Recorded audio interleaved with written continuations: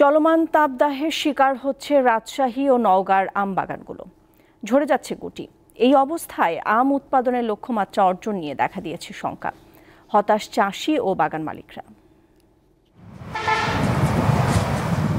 রাজশাহীর অর্থনীতির বড় চালিকা শক্তি আম।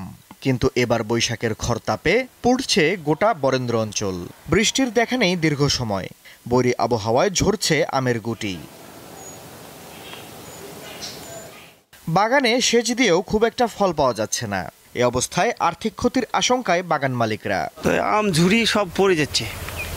আপনার রোদের তাপমাত্রা প্রচুর পরিমাণ। অতিরিক্ত রোদের কারণে আম ঝরে নষ্ট হয়ে যাচ্ছে। এই কারণে আমরা পরিচর্যা করছি। তাপদাহের হাত থেকে আমের গুটি রক্ষায় বাগানে পর্যাপ্ত সেচ ও গাছে পানি ছিটানোর পরামর্শ গবেষকদের।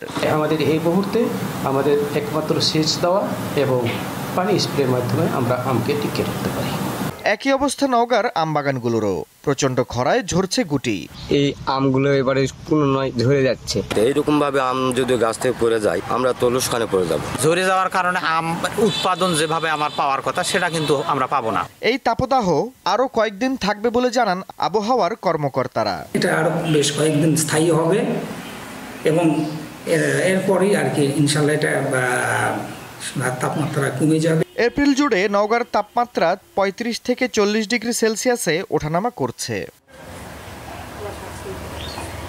দীপ্ত বার্তা কক্ষ